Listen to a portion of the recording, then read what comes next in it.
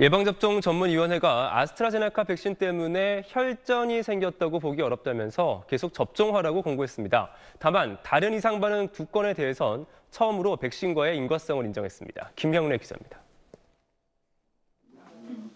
예방접종 전문위원회는 우선 혈관 속에 피가 굳는 혈전증은 비교적 흔한 질병이라고 밝혔습니다. 대부분 오래 누워있는 환자, 그리고 감염증 또는 암 환자에게서도 발생하는데 국내외 사례를 검토한 결과 백신 접종이 혈전 위험을 더 증가시킨다는 연관성을 발견하지 못했다고 밝혔습니다. 아스트라제네카 백신 접종 후 관찰된 혈전 생성 사례는 평상시 발생 수준보다 더 낮은 것으로 보고되었습니다. 세계보건기구와 유럽의약품청의 결론과 같은데 다만 국내 20대 남성에게 발생한 뇌정맥동 혈전증은 백신과의 인과성을 좀 더 조사해야 한다고 밝혔습니다.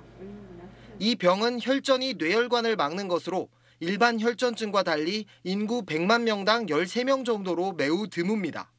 마치 망치로 머리를 때리는 것 같은 평생 한 번도 경험하지 못한 심한 통증이 있고 시야가 흐려지는 증상 등이 보고될 수 있습니다.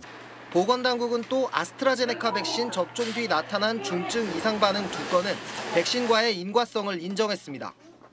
접종 7분 뒤 급성 알레르기 반응인 아나필락시스가 나타난 20대와 접종 반나절 뒤 경련과 고열에 이어 다음날 혈압이 떨어진 40대 사례입니다.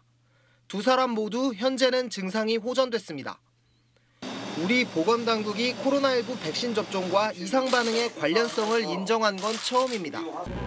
이처럼 백신과의 인과성이 인정되면 피해 보상을 신청할 수 있고 전문위원회 심의에 따라 진료비 등을 보상받을 수 있습니다. SBS 김영래입니다.